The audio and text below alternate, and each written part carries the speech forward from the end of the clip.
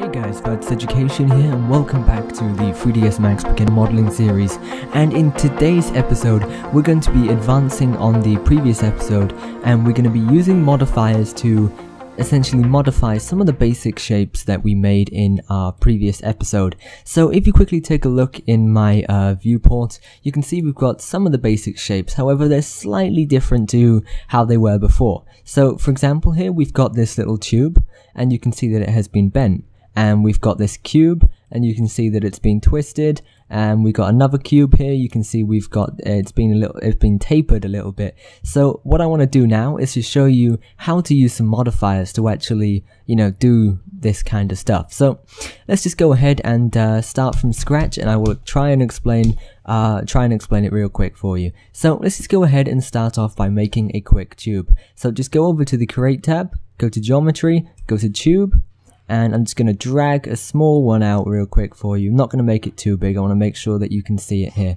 Now, you can set the parameters to this for whatever you want, um, so just keep in mind, yeah, that, uh, just keep that in mind, uh, we're just experimenting here. So, let's just go ahead and go over to the modify panel now. So to do that, just click the little rainbow looking thing over here, and uh, you can see we've got this new little interface. Now I'm just going to try and break it down for you, but the most important bit is here you got your modifier list, so you can choose a modifier to use on your object, and then you've got all the modifiers that you actually have applied to your object and they'll be shown here. And I'll show you a few little things in more detail later on in the video. And then you've got the parameters of the uh, modifier which you will see uh, will come up in a moment. So let's just go ahead and choose a modifier to use on this. So what I'm going to choose first is I'm going to use the bend modifier. Now to choose this you can scroll down and find it or you can just type in bend and it will highlight itself just like that.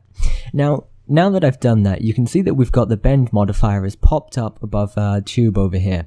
And you can see that uh, we've got a little light, uh, light icon over here. And this allows us to turn it on and off in the viewport. Now, you can see it's not doing anything at the moment because the, uh, the modifier is, hasn't really hasn't really got any strength to it. We've set the, the angle is set to zero. So let's just go ahead and turn the angle up real quick so you can see it start to bend just like that. And if I go ahead and turn it on and off, you can see that the modifier is uh, this bit is being applied and you can see it in the viewport. Also, when you do have it off, you can also should you should also be able to see we got this little wireframe view of how your modifier is going to look when you uh, turn it on. So that's quite a cool uh, little feature you got there. But I'm going to leave it turned on for now. So let's just go ahead and play around with some of the parameters here. Now keep in mind the parameters are going to be different for all the different kinds of uh, modifiers that you use. I'm only going to be going over a few modifiers today. What I want you to do is go ahead and play around with them, experiment, do whatever, and find out what some of them do. So let's just go ahead and play around some of the parameters. Obviously, like I showed you, you've got your angle here, which allows you to change pretty much how uh, the angle of your bend. So if you wanted it to be a 45 degree angle, you can see it bends over uh, pretty much just a little bit there.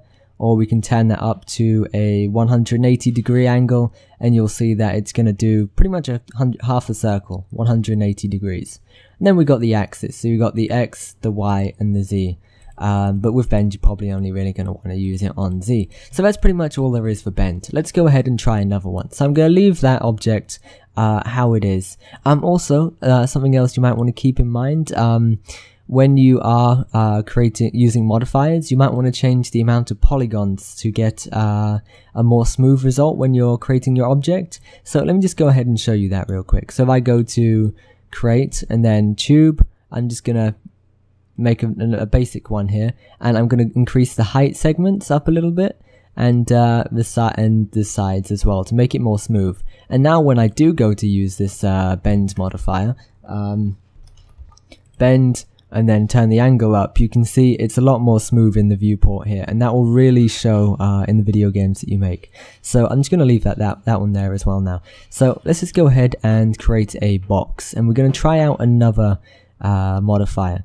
So let's go ahead and get a nice little view of that. And we're going to use a modifier called taper. So I'm just going to type in taper again.